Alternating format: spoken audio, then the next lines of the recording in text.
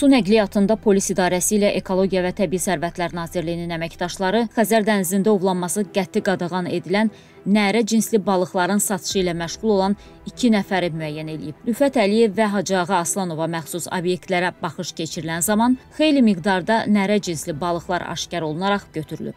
Araşdırma zamanı bu şəxslərin müvafiq icazələri olmadan nərə cinsli balıqların qeyri-qanuni satışını təşkil etdikləri məlum olub. Polis idarəsində hər iki şəxs barəsində qanunla nəzərdə tutulan qaydada tədbirlər görülüb.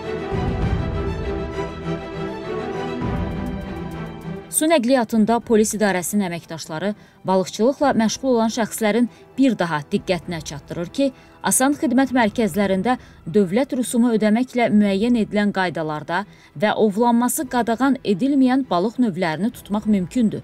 Dənizdə, su hövzələrində tor qurmaq və elektrik avadanlıqlarından istifadə etməklə balıq tutmaq qəti qadağandır.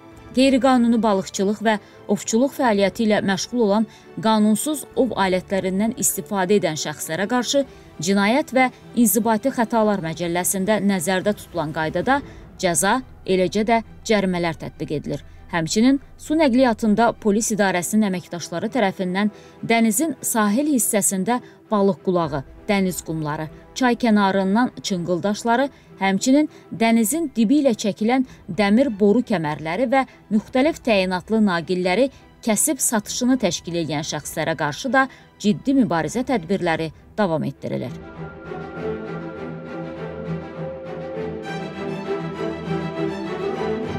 Səidə Bəkir qızı, Baku TV.